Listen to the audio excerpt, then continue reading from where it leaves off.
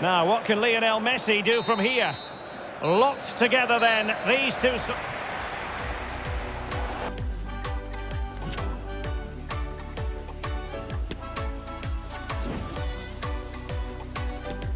And this will test the mentality of any footballer.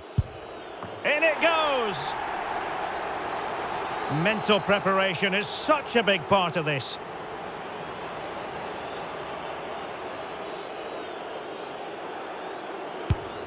And the penalty converted here. His turn to try to convert from the spot. And the keeper makes the all-important save. What a big moment. As straight as an arrow. Can he convert? Oh, a superb save. And he scores. It won't be lost on him what's at stake here. He knows he's got to score. Low and accurate, that penalty. Well, it comes down to this. In, and they win.